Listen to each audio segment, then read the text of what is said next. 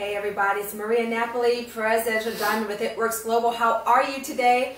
It is October 14th, 2013, and I have got to share with you something that's happening in our company until November 30th, 2013. Our company is rolling out a $500 Christmas bonus. $500 extra for Christmas to any existing distributors and any new distributors that come on board with us this month. So I just have to share this with you because I've never seen my company do this before.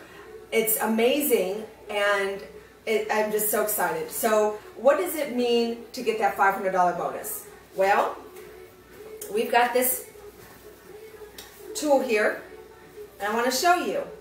First of all, you can join. $99 gets you in the door, okay? If you're not with us yet. And then if you know four people, four people who want to tighten, tone, and firm, if they need energy, if they're eating Thanksgiving dinner, you know, because we've got something called Fat Fighters that helps you to not absorb up to 78% of the carbs and 28% of the fat that you just ate.